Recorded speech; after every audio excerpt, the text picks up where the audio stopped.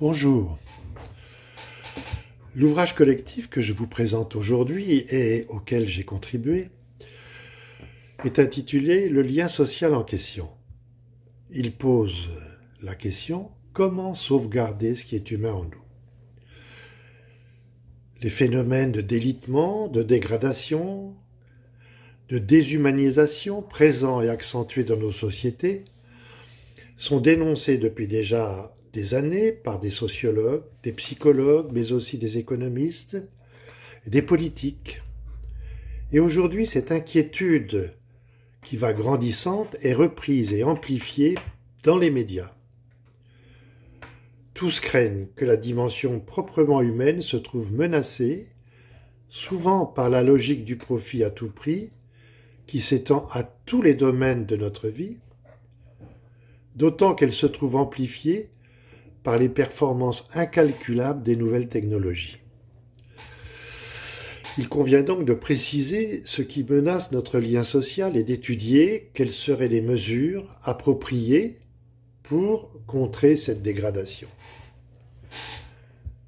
Après avoir euh, précisé ce, qui caractérise l'être humain, les auteurs cherchent à cerner les causes de ce que certains nomment un effondrement.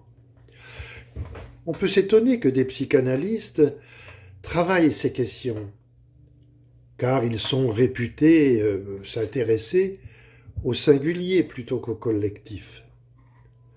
Mais c'est précisément à partir des conséquences du fait que nous sommes des êtres de parole et de langage que le lien social se construit. De ce point de vue, nous ne pouvons séparer le sujet du lien social de son lien social. Celui-ci ne peut être réduit, comme c'est souvent le cas, à des effets de communication. D'être pris dans la parole et le langage depuis les premiers jours détermine l'originalité de notre lien avec les autres. Aussi bien des angles d'étude sont divers et pourraient être multipliés.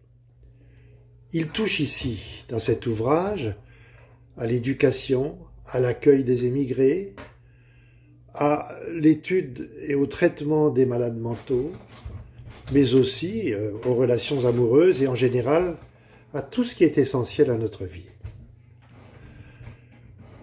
Les auteurs sont tous des psychanalystes.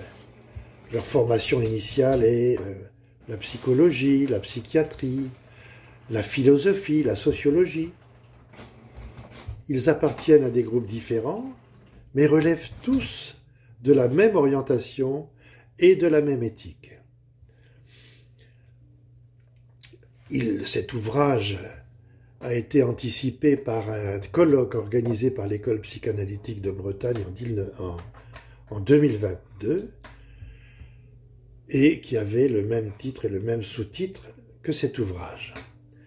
Celui-ci est destiné à tous ceux qui s'intéressent à ces questions, et particulièrement aux travailleurs sociaux, aux psychologues, aux psychiatres, aux médecins, aux politiques, et à tous ceux en général que ces questions concernent, c'est-à-dire nous tous. Je vous remercie.